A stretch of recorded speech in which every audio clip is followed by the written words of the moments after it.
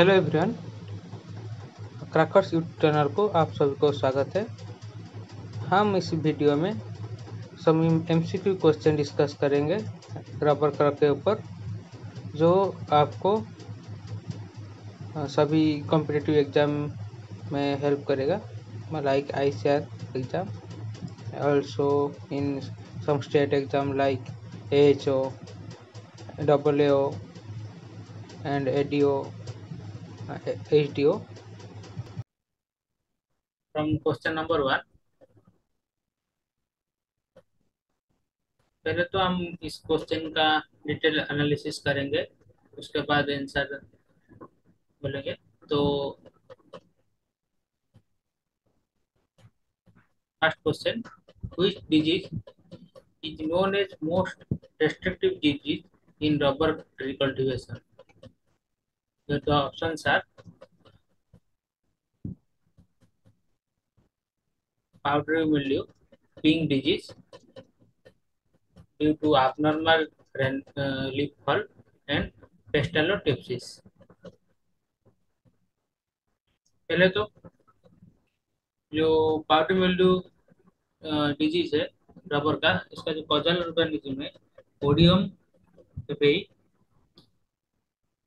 and these are not uh, most destructive uh, disease in rubber but most uh, destructive disease of uh, rubber is abnormal leaf fall and the causal organism is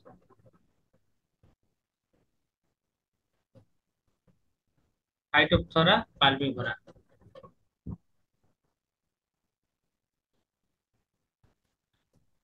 And uh, all of these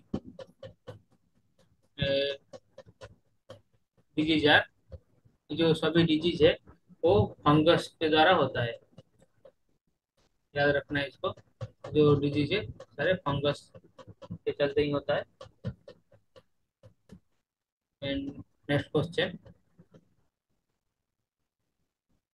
what is the primary symptom of pink disease in rubber tree? जो rubber tree में जो pink disease होता है, उसका जो पहला symptom क्या होता है?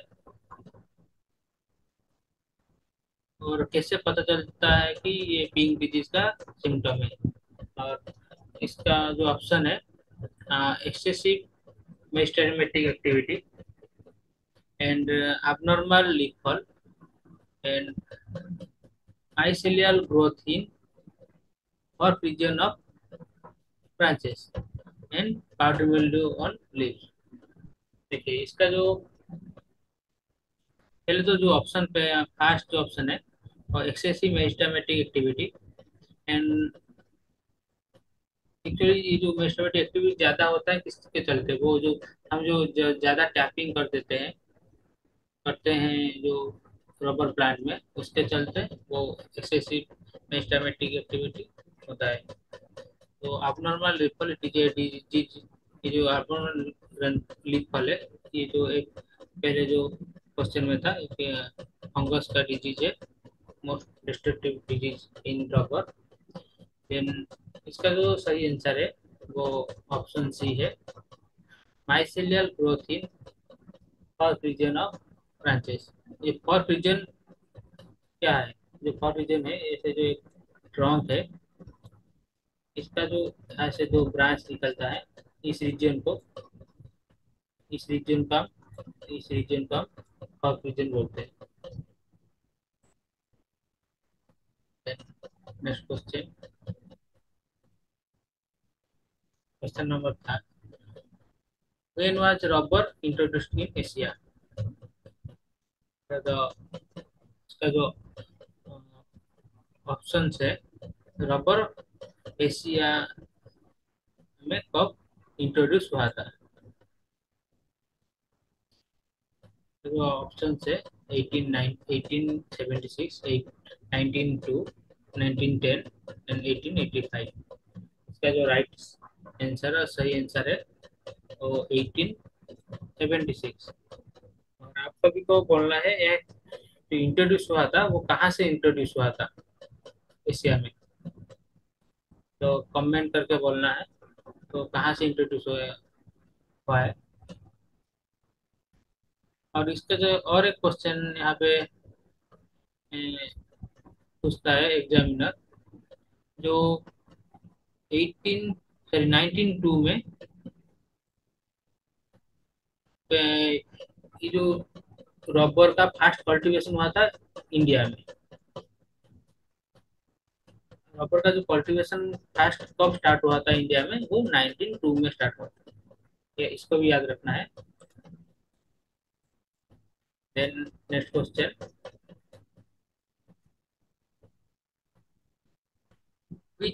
Asian country leading producer and exporter of natural rubber and its products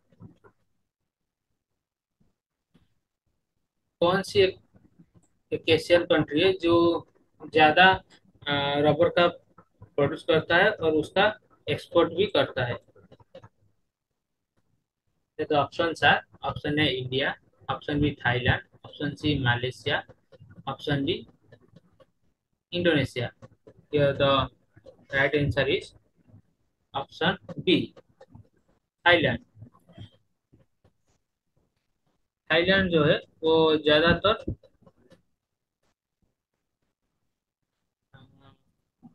natural rubber का प्रोडक्शन करता है। उसका जो एरिया है, वो 45 परसेंट टोटल एरिया है उसका जो रबर में।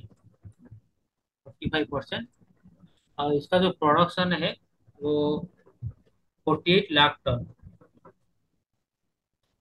48 लाख टन उसका प्रोडक्शन कैपेसिटी और उसका जो एरिया है 45 परसेंट कवर करता है इन रबर कल्टीवेशन में।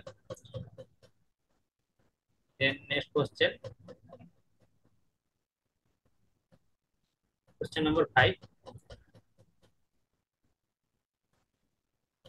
आठ percentage of India gross crop area is occupied by rubber cultivation India में रबर का जो कल्टीवेशन है, वो एरिया वाइज कितना कवर करता है वो रबर में? तो ऑप्शन आर ऑप्शन है zero point four percent one point four percent zero eight point nine percent forty five percent right answer is 0.4 percent. 0.4 percent gross block area is occupied by rubber in india.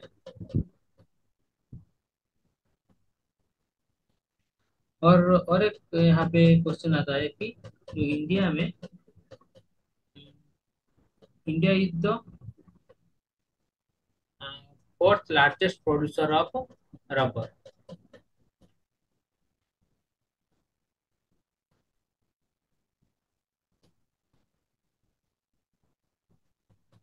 Then question number six. Among the uh, mentioned alternative source of natural rubber, which one is native to India? इनमें से जो option है वो कौन सा species है जो alternative to natural rubber है और वो इंडिया से ओरिजिनेट हुआ है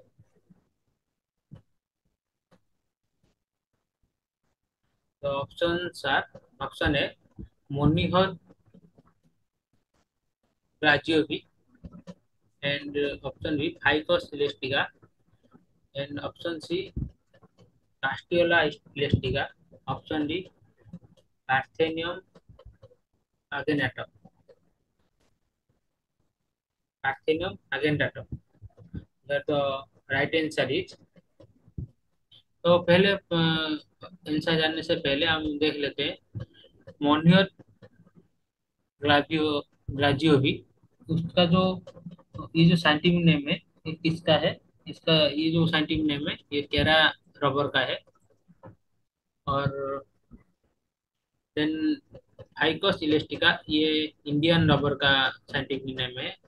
कास्टियोला इलेस्टिका ये जो साइंटिफिक नेम है पानामा रबर का साइंटिफिक नेम है Panama rubber then Parthenium argentatum ये जो साइंटिफिक नेम है, ये वाइल्ड रबर का साइंटिफिक नेम है. ये जो रबर है, वो साउथ अमेरिका से ओरिजिन हुआ है, और साउथ अमेरिका ज़्यादातर इसका प्रोडक्शन करता है. Rubber then question number seven तो राइट आंसर है ऑप्शन बी है। ये जो सारे साइंटिफिक नेम का scientific name with common name याद रखना है वेरी इंपॉर्टेंट है। And question number seven for hilly area what is the spacing of bonded rubber? पहले तो आपको क्वेश्चन ध्यान से देखना है कि in hilly area what is the spacing of border rubber जो ज़्यादातर ग्रोअर बॉर्डर रबर ग्रो करते हैं और सीडलिंग ओरिजिन रबर भी ग्रो करते हैं। आपको जो क्वेश्चन देखना है कि तो एग्ज़ाम पूछा है कि बॉर्डर रबर के बारे में पूछा है या सीडलिंग ओरिजिन रबर के बारे में पूछा है? तो बॉर्डर ज़्यादातर जो स्पेसिंग होता है बॉर्डर रबर में, वो कम होता है। स्पेसिंग सीडलिंग ओरिजिन रबर से। तो पहले तो देख लेते हैं तो option are 6.7 metre into 3.4 metre 4.9 metre into 4.9 metre 4.6 metre into 4.6 metre 6.1 metre into 3 metre here the right answer is option A. Option A is right answer. और यहाँ पे और एक क्वेश्चन पूछ सकते हैं examiner for flat area what is the spacing of the border rubber. Flat area में हम ज़्यादातर four point nine metre into four point nine metre में स्पेसिंग में लगाते हैं। And and if question asked about for hilly area what is the spacing of seedling rubber or seedling origin rubber then answer will be 6.1 meter into 3 meter तो इस spacing को ध्यान से पढ़ना है और आंसर को क्लिक करना है then question number eight Which Asian country are major important of Thai rubber? Thai rubber means Thailand rubber. Which country is major import of Thai rubber? कौन सा कंट्री ज़्यादा करता है थाई रबर को ये तो option are Indonesia and Malaysia India and China Japan and China India and Malaysia So the right answer is option C.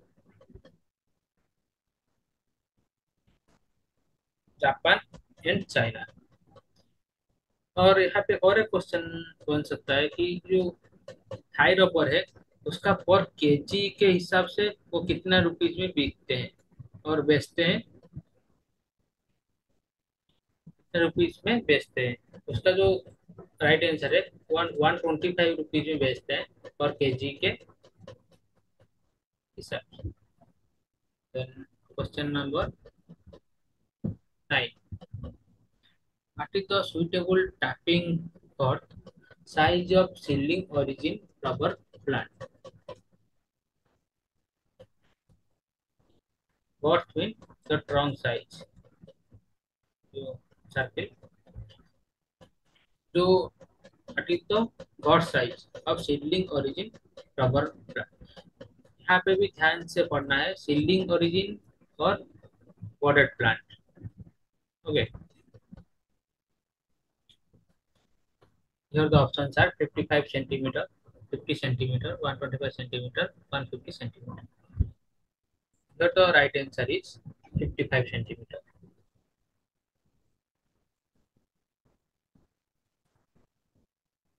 and जो इसका जो ग्राउंड लेवल से हाइट होता है, उसका जो कितना हाइट के ऊपर वो टैपिंग करते हैं, वो 50 50 सेंटीमीटर के हाइट के ऊपर टैपिंग करते हैं। Is only in seedling origin rubber plant but in border origin plant उसका जो ट्रैपिंग गर्थ है, वो 50 सेंटीमीटर है। उसका जो गर्थ है, और उसका जो हाइट है फ्रॉम ग्राउंड लेवल उसका जो हाइट है, वो 125 सेंटीमीटर 125 टू 150 सेंटीमीटर इसको भी याद रखना है।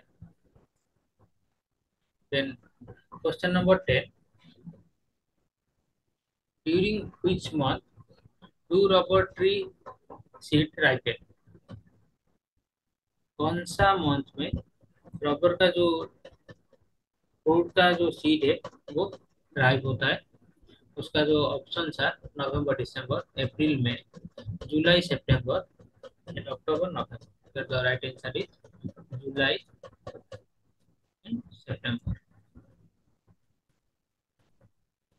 तो टोटल टेन क्वेश्चन यहाँ पे डिस्कस किए। अब इन क्वेश्चन में किसी भी डाउट है डाउट होगा तो कमेंट में, पूछ सकते हैं। तो please share and subscribe thank you stay safe stay healthy